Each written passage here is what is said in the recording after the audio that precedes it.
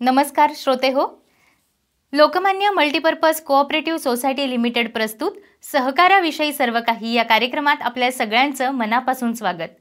श्रोते हो या कार्यक्रमात आपल्याबरोबर आहेत महाराष्ट्र राज्य सहकारी परिषदेचे अध्यक्ष national federation of state coop bank लिमिटेडचे उपाध्यक्ष आर बी आयच्या स्थायी सल्लागार समितीचे सदस्य आणि बँकिंग साक्षरता प्रतिष्ठान पुणेचे संस्थापक विश्वस्त अशा अनेक जबाबदाऱ्या प्रभावीपणे सांभाळणारे श्री विद्याधर अनासकर सर. नमस्कार सर. श्रोते नमस्कार.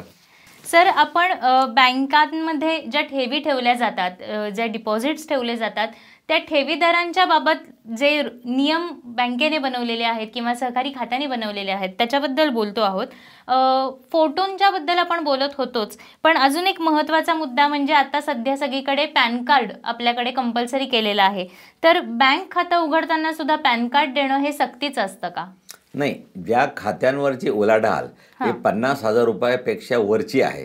तिथंच पॅन कार्ड आवश्यक आहे. बरं. काही छोटी छोटी खाती असतात ज्यांच्यामध्ये एवढी उलाढाल हो होत नाही त्या खात्यांमध्ये मात्र पॅन कार्डची आवश्यकता लागते. पन्नास हजार रुपयाचं लिमिट हे साधारणतः किती दिवसांसाठीचं असतं का? वार्षिक असतं. वार्षिक असतं. अच्छा.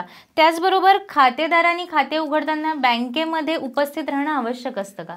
नाही तो पण प्रकार नाहीये. तुम्ही एखाद्याच्या अकाउंटवर त्यांनी सही केली की तो खातं उघडू शकतो. परंतु.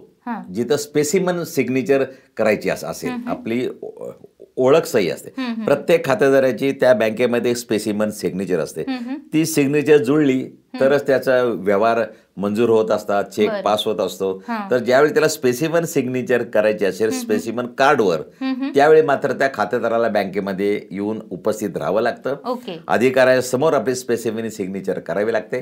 अन्यथा नुसतं खातं उघडायचं असेल तर तुमची सही घेऊन देखील मी बँकेत जाऊन दुसरा कुठलाही मनुष्य खातं उघडू शकतो. पण स्पेसिमन सिग्नेचरच्या वेळी मात्र तुम्हाला स्वतःलाच तिथं हजर राहावं लागतं. अच्छा. त्याच्याच बरोबर अजून एक महत्त्वाचा मुद्दा म्हणजे चालू खातं किंवा करंट खातं उघडताना बँकेची एनओसी घ्यावी लागते का? नाही त्यामध्ये असं आहे की सध्या मनी लॉन्ड्रिंग हा जो ऍक्ट आहे. म्हणजे एकच मनुष्य अनेक बँकांमध्ये खाती उघडतो. हो. आणि एका बँकेकडे त्याचं कर्ज असतं ते थकीत असतं. आणि त्याच वेळी तो दुसऱ्या बँकेमध्ये आपलं खातं उघडतो. आणि आपले सगळे चेकचे व्यवहार त्या बँकेमध्ये करतो. मग या बँकेचे मात्र कर्ज वसूल होत नाही. अशा वेळी रिझर्व्ह बँकेने असा एक नियम केलाय की करंट खातं उघडताना तुम्हाला त्या बँकेला डिक्लेरेशन द्यावं लागतं की तुमचे इतर कोणत्या कोणत्या बँकेमध्ये खाती आहेत बरं बरं बरं आणि ते डिक्लेरेशन दिल्यानंतर त्या बँकेची एनओसी. ही कंपल्सरी तुम्हाला द्यावी लागते. त्याच्याशिवाय तुम्हाला करंट खातं उघडता येत नाही. अच्छा. बऱ्याच वेळेला लोक खोटं बोल बोलतात. दुसऱ्या बँकेत माझा करंट अकाउंट आहे हे डिस्क्लोज करत नाहीत. अशा वेळी या बँका शक्यतो त्याच्या जो मनुष्य जिथं राहतो त्याच्या आजूबाजूच्या पाच सहा बँकांना एक पत्र पाठवतात.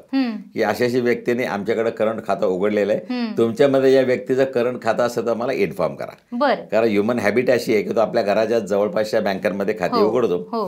अशा वेळी एन्क्वायरी पण या बँका करत असतात. पण नियम असा आहे की तुम्ही एका बँकेमध्ये करंट अकाउंट असेल तर दुसऱ्या बँकेमध्ये उघडताना अर्लियर बँकेचा ना हरकत दाखला तुम्हाला बँकेमध्ये सबमिट. करावा लागतो. मग हा नियम फक्त चालू खात्यासाठी म्हणजे चालू करंट खात्यासाठी. साठीच आहे. हो, सेव्हिंग saving साठी साठी नाही. नाहीये. सेव्हिंगसाठी फक्त करंटसाठी अच्छा. चालू खात्यासाठी. बर. सर आपल्याकडे असे अनेक लोक आहेत जे पॉवर्टी लाईनच्या खाली आहेत. अशांसाठी केवायसीचे काही नियम वेगळे असतात हा, का? काही गरीब लोक आहेत ज्यांच्याकडे पॅन कार्ड नसतं आधार कार्ड नसतं राहण्याचा पुरावा नसतो. हो. अनेक लोक असे आहेत की गावागावे गावेगावी जाऊन आपलं बिराड सतत हालतं ठेवून काम करत असतात. ज्याला काही विशिष्ट समाजाचे लोक पाली टाकणं म्हणतात कामगार लोक लोक. अशा लोकांना ऍड्रेस प्रूफ देणं वगैरे शक्य नसतं. अशा लोकांकरता रिझर्व्ह बँकेने बेसिक अकाउंट्स हा. नो फ्रील अकाउंट नावाचे अकाउंट उघडलेले आहेत. आणि यामध्ये त्यांचे व्यवहार लिमिटेड असतात. म्हणजे ज्या खात्यांवरती तुम्हाला वर्ष महिन्यातनं फक्त चार वेळा पैसे काढायला परवानगी असते. पैसे तुम्ही किती वेळा भरू शकता? असे काहीतरी नियम आहेत. त्यामधनं या केवायसी नॉर्म्स त्यांना सूट दिलेली आहे. अच्छा. यातलाच आता जसं तुम्ही म्हणालात की पाले असतात ते एका गावात हो. उठून दुसऱ्या गावांमध्ये जातात. अशा वेळेला त्यांची जिथे खाती आहेत त्याच बँकांमध्ये जाऊन ते दुसरीकडे व्यवहार करू शकतात का? का त्यांना ते बदलता येतं ते कुठूनही पैसे काढू नाही नाही शकतात?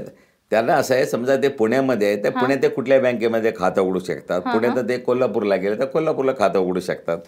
किंवा इथल्या बँकेमधलं खातं ते कोल्हापूरला ब्रांच असेल तिथं ते ट्रान्सफर पण करू शकतात. नॅशनल बँकेमध्ये संपूर्ण देशामध्ये त्या बँक- त्यामुळे फक्त या लोकांचे व्यवहार लिमिटेड असतात. बरोबर. व्यवहार लिमिटेड म्हणजे काय? जास्तीत जास्त तुम्हाला एक लाख रुपयापर्यंत अलाउड आहे म्हणजे एक एक लाख रुपयावर पण त्यांचं जातच नाही असे रिस्क कमी आहे. रिस्कच नाही म्हटल्या तर मग त्यांना photo pan card Aadhaar card हे जे काही केवायसी नॉर्म्स आहेत. ते ऍप्लिकेबल होत नाही त्याला आम्ही. Basic account no frill account म्हणतो. हे कमी उत्पन्न असणाऱ्या लोकांसाठी असे अकाउंट त्यांनी देऊन म्हणजे त्यांना फिनान्शियल इन्क्लुजन असं म्हणतात जे बँकिंग सेवेपासून लांब ठेवता येणार नाही. का तर तुमच्याकडे राहायचं घर नाही पुरावा नाही. याही लोकांना बँकिंग सेवेमध्ये आणायचं. याच्यासाठी सवलती त्यांना दिल्या शक्यतो काय असं यामध्ये कुठल्याही माणसाचा पैसा हा बँकांच्या माध्यमातून अर्थव्यवस्थेत आला पाहिजे. समजा या लोकांना जर तुम्ही बँकिंग सेवेपासून लांब ठेवलं तर यांचा पैसा गाडग्या मडक्यातच राहील. हो. बँकिंगच्या माध्यमातून येणारच नाही. त्यामुळे अशा लोकांसाठी हे सेवा सुविधा basic account no frill account तयार केलेले. अच्छा मग जसं नॉर्मल लोकांसाठी नियम असतात की साधारण बँकेत खातं उघडल्यानंतर मिनिमम अमाऊंट तुमची एवढी एवढी असली पाहिजे सेव्हिंगला तर तुम्ही ते खातं ऑपरेट करता. असे नियम सुद्धा या लोकांना या लोकांना? लागू होत नाहीत. या. लोकांना लागू होत नाही त्यांना मिनिमम अकाउंट नाही. एक रुपया जरी असला तरी त्यांना बाद त्यांचं झालं. त्यांना. मिनिमम बॅलन्स दंड व्याज असे नियम या छोट्या अकाउंटला बेसिक अकाउंटला लागू होत नाहीत. अच्छा. आता जेव्हा आपण खातं उघडतो त्यावेळेला अजून एक ऑप्शन असतो की आपण त्याच्यासाठी नॉमिनी कोणाला ठेवलेला आहे. तर हे नॉमिनेशन करणं सुद्धा प्रत्येक वेळेला सक्तीच असतं का? गंमत अशी आहे की हे नॉमिनेशन नॉमिनेशन करणं हां. हे खातेदाराच्या हिताचं आहे. हां. हे सक्तीचं नाही आहे म्हणजे तुम्ही एखाद्याने सांगितलं की नाही मला नॉमिनी नाही नाही नेमायचं. मला कोणाला मला नाहीच आहे कोणी. द्यायचंच नाही मला कोणाला. तर अशा वेळी तुम्हाला त्या माणसाकडून लेखी पत्र घ्यावं लागतं. बर. की मला नॉमिनी नेमायचा नाही. हे पत्र घ्यावं लाग लागतं. त्या आधी त्याला खरं म्हणजे रिझर्व्ह बँकेने सांगितलं प्रत्येक बँकेने नॉमिनेशनचे फायदे खातेदाराला समजून सांगायला पाहिजे. अच्छा. की बाबा इन केस ऑफ डेथ तुझ्या मृत्यूनंतर या पैशाची विल्हेवाट कशी लागावी हे तर नॉमिनी केलं तर ते सोपं जाईल. नाहीतर कायद्याची प्रक्रिया खूप किचकट आहे. अनेक लोक असे असतात त्यांना नॉमिनी करायचं नसतं. सक्तीनं नाही निश्चितच नाही. परंतु करणं हे हिताचं आहे. अच्छा. पण मग नॉमिनेशन कुठल्या कुठल्या खात्यांसाठी करता येतं हेही काही ठरवलेलं आहे का? नॉमिनेशन प्रत्येक खात्यासाठी नॉमिनेशन करता येतं. नॉमिनेशन म्हणजे काय?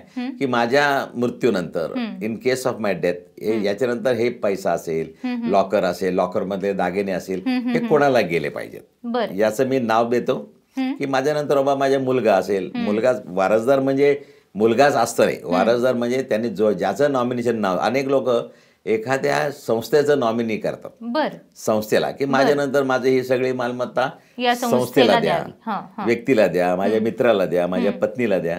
तर नॉमिनेशन हे हे नाहीये की कंपल्शन नाहीये आणि. नातेवाईकच आहे. बेनिफिशियरी नक्कीच.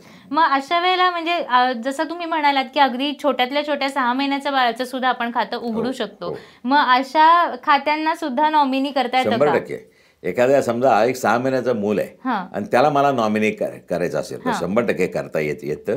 पण त्याच्या बरोबर तो मेजर होईपर्यंत एक अज्ञान पालन करता म्हणून त्याचं पण नाव मला तिथं घालावं लागतं. आणि ज्यावेळी तो मेजर होईल त्यावेळी मात्र त्याचं कन्व्हर्जन एक मायनर मधून मेजर होईल त्यावेळी अज्ञान पालन करत्याचं नाव कट होऊन जाईल बर बर. म्हणजे मग तो स्वतंत्र असतो ते ऑपरेट. करण्यासाठी. बरोबर अगदी नॉमिनेशनच्या संदर्भात खरं तर अजूनही बरेच प्रश्न आपल्याकडे आहेत सर पण आजच्या भागाची वेळ संपत आली आहे तेव्हा आज आपण इथेच थांबूयात. पुन्हा एकदा या कार्यक्रमाद्वारे तुम्ही इतकी उपयुक्त माहिती देताय त्याबद्दल मनापासून धन्यवाद. मॅडम धन्यवाद. श्रोते हो पुन्हा भेटूयात Lokmanya multipurpose cooperative society limited प्रस्तुत सहकाराविषयी सर्व काही या कार्यक्रमाच्या पुढच्या भागात. श्री विद्याधर अनास्कर सर यांच्यासह तोपर्यंत नमस्कार.